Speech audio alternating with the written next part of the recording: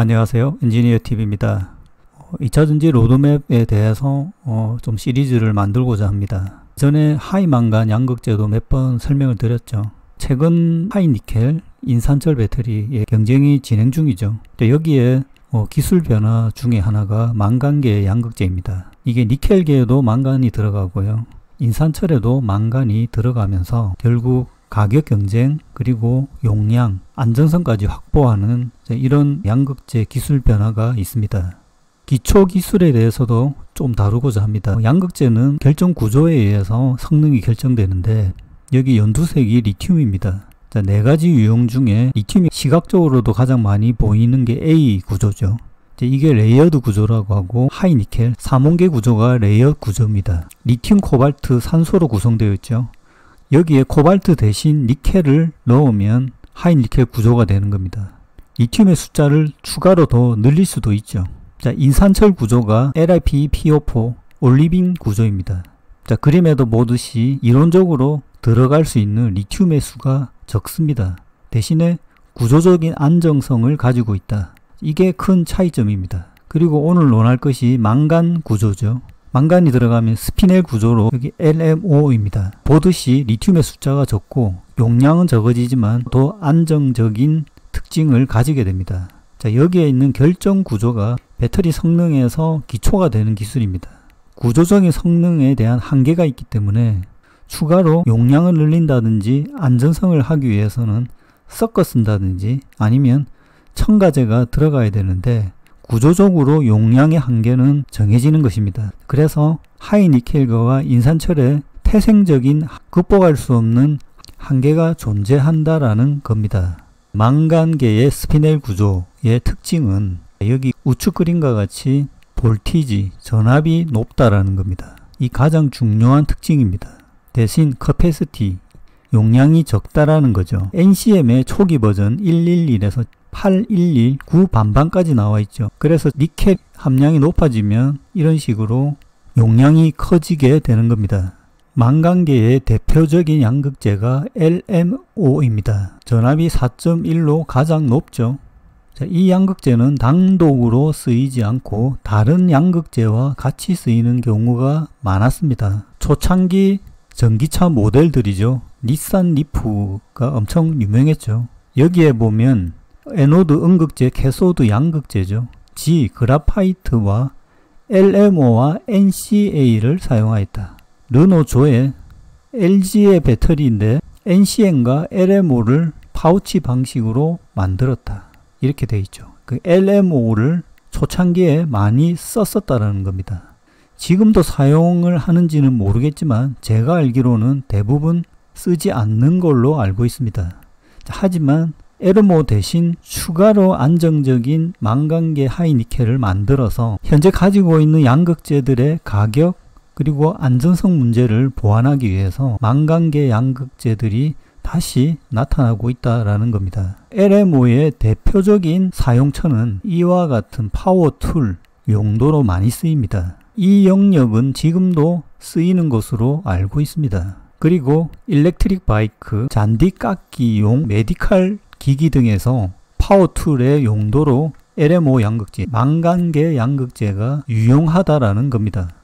파나소닉 개발 로드맵입니다. 이전에 한번 소개해 드린 적이 있는데 여기에도 양극재의 개발 방향에서 현재 코발트가 없어지는 방향은 많이 나왔죠. 그리고 최근 하이 니켈 방향, 니켈 함량 80%에서 알루미늄 첨가로 의해서 NCMA 90%까지 현재 개발되어 있습니다. 자, 그 이후 2, 3년 이내에 나올 것들이 망간이라는 겁니다. 이 망간을 쓰이는 스피넬계, 올리빈계는 인산철, 그 다음 LNMO까지 망간 첨가로 인한 양극재 기술 로드맵이 최근 2, 3년 내에 임박했다라는 예측입니다.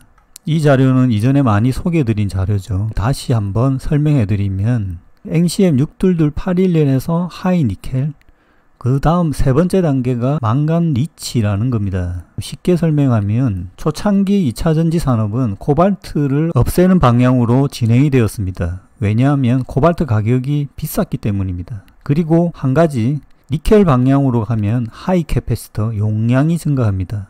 현재 니켈의 함량이 90%까지 왔기 때문에 개발 한계가 왔죠. 코발트도 거의 free화되어 있고 그 다음 갈 수 있는 방향이 또 다른 가격 감소 방향인 망간입니다. 망간은 안전성에도 유용한 기술입니다. 지금은 코발트 free와 하이 니켈이 와 있기 때문에 기술 방향으로 보면 이 삼원계 기술 내에서는 망간 함량을 높이는 것 외에는 기술 방향이 없다라는 겁니다. 또 다른 삼각형이죠. 니켈은 capacity 용량이고 망간은 safety 안전성입니다. 코발트는 rate 수명을 증가시키는 거죠. 코발트에 관련된 어, 기술 방향도 있지만 코발트 생산이 아직 안정적이지 않기 때문에 이 부분은 조금 더 미뤄질 것 같습니다. 여기도 보면 코발트 함량이 증가하면 capacity 증가가 되고 망간 함량이 증가하면 열 안전성, 배터리 화재를 감소시킬 수 있다라는 방향입니다. 이것은 현재 연구되고 있는 사용되고 있는 다양한 양극재의 용량과 작동 전압, 이론적인 그리고 실제 실행이 가능한 것을 표현한 표입니다. 여기에서 우리의 관심사는 LMO죠. 상단에 보면 리튬 망간 산소 LMO 여기에 추가로 니켈이 들어가면 용량은 같으나 전압이 높아졌죠. 코발트가 들어가면 용량은 높아지고 전압은 조금 낮아집니다. 사실 LCO를 쓰면 가장 좋겠죠. 하지만 코발트 가격이 높다라는 겁니다. 자, 망간과 니켈을 같이 쓸 수 있는 기술도 조금 난이도가 현재로는 높습니다. 인산철, 여기에 망간을 넣으면 용량이 감소하고 전압이 높아지죠. 코발트를 넣는 경우도 있습니다. 용량은 감소하고 전압이 높아졌습니다. 여기 보면 니켈, 망간, 코발트의 활용도가 있다라는 거죠. NCM 3원계와 비교하면 여기 보면 NCM 111, 622, 811 하이 니켈까지 가면 전반적으로 빨간색 부분 용량이 점점점 증가하죠. 대신 전압은 어느 정도 일정합니다.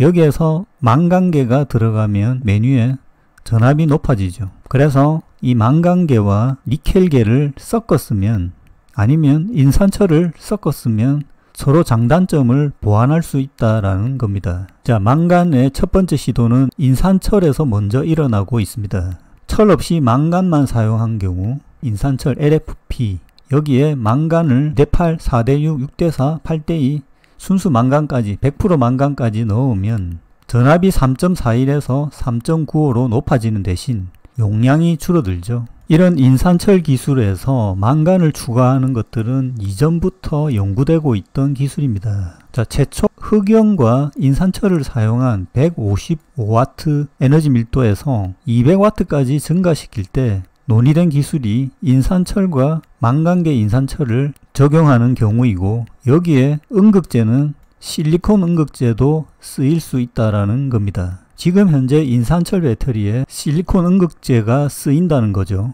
이전에 한번 소개해드린 표인데 순수 인산철 배터리와 망간을 첨가한 망간과 철의 비율이 6대4, 7대4 정도이면 어느 정도 capacity 용량을 비슷하게 맞출 수 있다는 겁니다. 다만 전압을 3.4에서 4.1까지 높일 수 있기 때문에 주행거리 20% 증가 효과를 얻을 수 있습니다. 배터리 수명은 차이가 없고 대신 이온 전도도가 망간계가 좋지 못합니다. 보완하기 위해서 쓰일 수 있는 것이 CNT 도전제 같은 것이 들어가야 됩니다. 그런 문제 때문에 코스트가 증가하겠죠.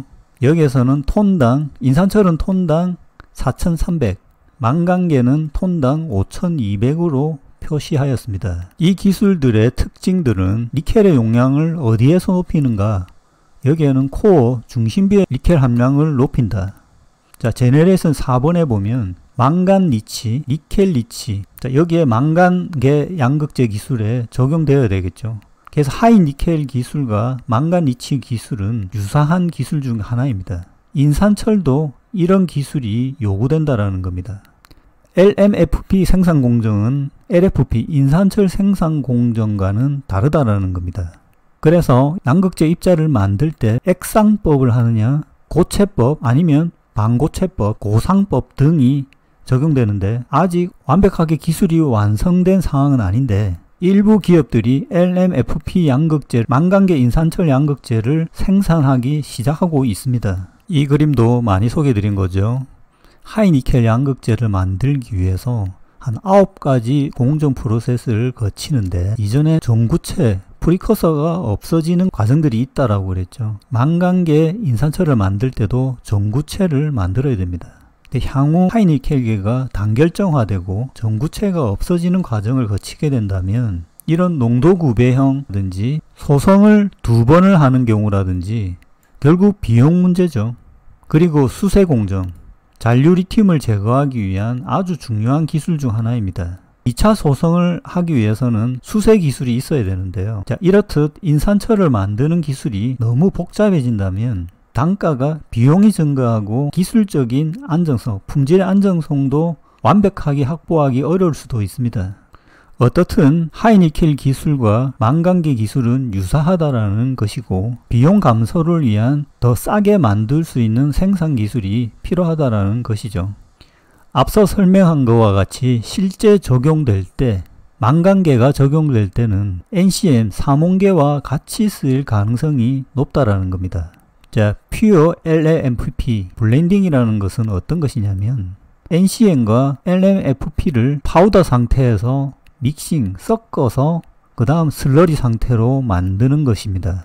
blending이라는 것이 영상과 같은 이런 느낌입니다. 빨간색, 흰색을 섞듯이 양극재 두 종을 망간계와 high 니켈을 섞는 것입니다. 이 동영상과 유사한 공정을 거친다고 보면 되겠습니다. 니켈 80%와 LFMP를 섞었을 때 5% 비율, 95%까지 비율적으로 섞으면 energy density의 증가가 나타나고 별도로 안전성을 요구한다든지 아니면 수명을 증가시킨다든지 하는 용도로 일부 blending해서 사용할 수 있다라는 겁니다.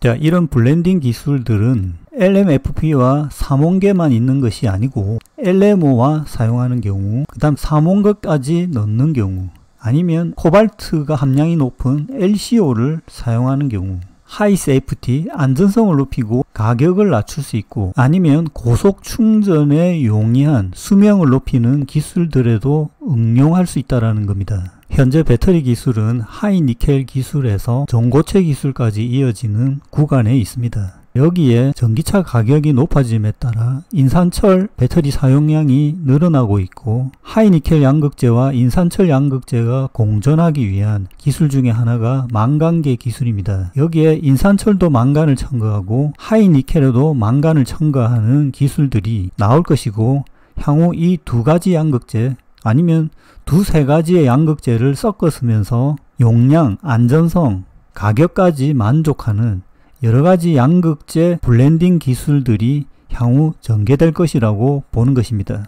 그리고 이 기술은 2, 3년 이내에 상용화 될 것이라고 생각이 듭니다. 이것으로 마치겠습니다.